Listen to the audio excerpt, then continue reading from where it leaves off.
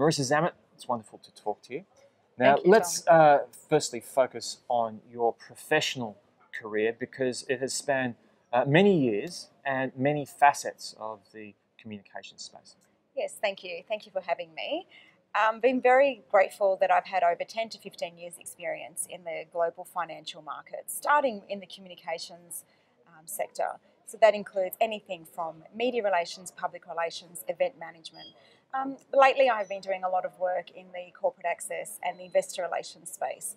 So here, communication is vital because not only are you dealing with so many different types of investors, whether it's institutional, domestic, high net worth, the sophisticated investor, also mum, mum and dad retail investors, the messages and the communication that needs to go out to all these different types of people.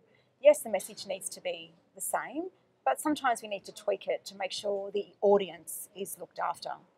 Um, also, around the communications world, it comes the event world. So they usually, they usually work hand in hand. So there's trade shows to organise ASX uh, releases and announcements, and also the results campaigns, the AGMs, all those very important events for companies and the big conferences and the corporate days that they need to attend. To attend. Communication in all those events needs to be clear, succinct, and adaptable for the audience.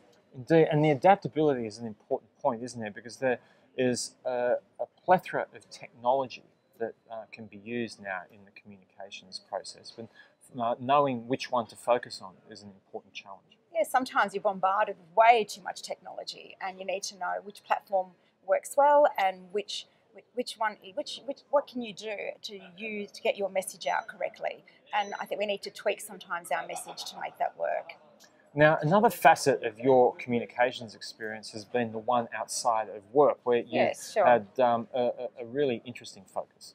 Yeah, I, I took on taking um, a lot of the Maltese uh, heritage stories and bringing them to life. Because I found that it is uh, all, all, a lot of early migrants that migrated to Australia in the 1940s, 50s, 60s they're all aging, and it was just a shame to go to the Maltese clubs and you'd hear their incredible stories, but there was no nothing capturing these amazing stories of hard work, of leaving the homeland, coming to a brand new country, usually with five pounds in their back pocket, and the stories that they would share would just be so inspiring.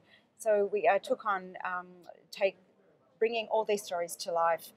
And through that, I had the opportunity of interviewing a lot of people um, that have migrated to Australia, but also the Maltese president when she was here last year, which was an, an, exceptional opportunity, but also famous Maltese artists and Maltese directors that have used or brought their heritage through life through what they do. So I think culture is very important. It's also very important in the workplace. Uh, we are now expecting our, our cultural environment to allow flexible working conditions. But we've also expecting a lot from our leaders. We want strong leadership, but we also want personal development and growth in our roles. Now, Marisa, another very important part of your life is your family life, which you're very proud of. Tell us a little more about that. Yeah, sure. So I think that I really value connection. So whether it's connecting with the P&C to raise funds for the school, uh, whether it's being a soccer manager for my son's team, or, whether it's playing sport myself. So I'm a dance mum, a soccer mum. I play lots of sports myself. Um, so that connection with a wider community, I think, is very important because having three children is a lot of fun, um, and you also it is work, um, like in, like most things.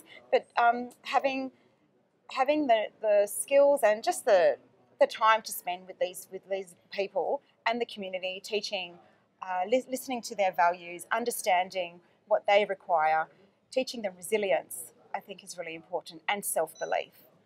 Marisa, it's been lovely talking to you. Thanks for your time. Thank you very much, Tom.